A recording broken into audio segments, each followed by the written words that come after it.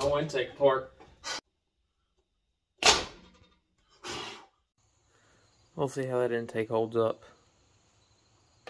And JB welded it. I just hope it bonds together like it's supposed to be. Or I'm screwed because I don't have the resources around here to make an intake. I could not have done this any better. So I took a piece of cardstock, laid it on the bottom of my uh, first Generac I bought. Got the bolt pattern, centered the motor up, marked it the best I could of where I wanted it to sit, laid it down, screwed the holes, and the freaking drill gun in two different spots. Ripped out my hands real quick. That had me concerned, but come to find out, I nailed it on the freaking head. I've got a bolt there that's literally smashed up against that piece of metal, whatever the hell that's for. Excuse my language. I need to edit that out. Um, so it's definitely not going to spin around, come loose. And then in this channel here, we've got another bolt that's freaking smashed up against that uh metal right here. That's not going to spin either. I couldn't have done that any better.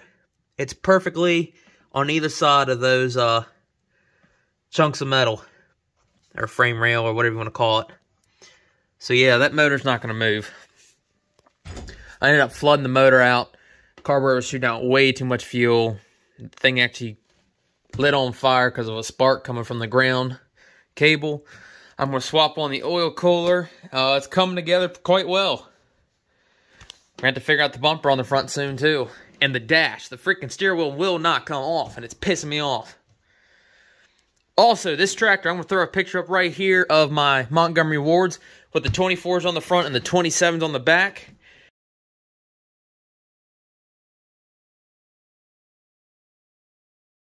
This tractor here is squatting like you know what with these 24s on the front and those supposedly 28s, which are more like 26 and a halfs. I know my 27s, when they're aired up to 5 psi, they're taller than a 27. So my wards wasn't squatting. This tractor is seriously squatting, and I'm not liking it. I'm really pissed. I wish those tires were a little bit bigger. But these tires might have to go, and I might have to run the 22s. And if I'm going to put 22s on the freaking tractor, I might as well put my rib tires on there. But my God, I'm just going to a freaking flatland trail riding. Intake turned out pretty good. I do think uh, the JB Weld did its job. I'm happy. I still might put a self tapper in there just to make sure, but I don't know. I'm pretty pleased with what I got. Alright, so we have here is a 27 by 12 by 12 Vampire. And over here we have the 28 by 10 by 12 EDL Vampires. One's one and one and a half inch lugs and the other's like two inch.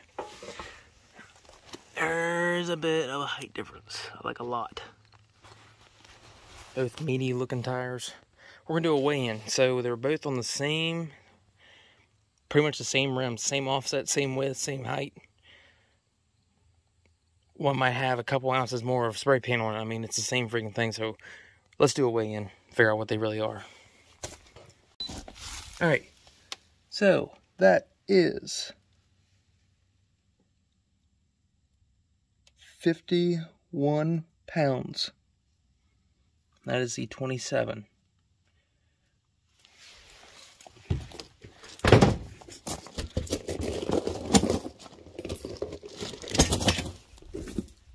the next one's much heavier, even though it's way smaller, just because the, uh, the lugs.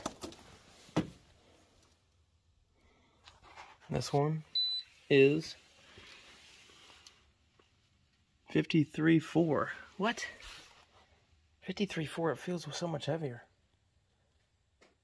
Huh. That's interesting.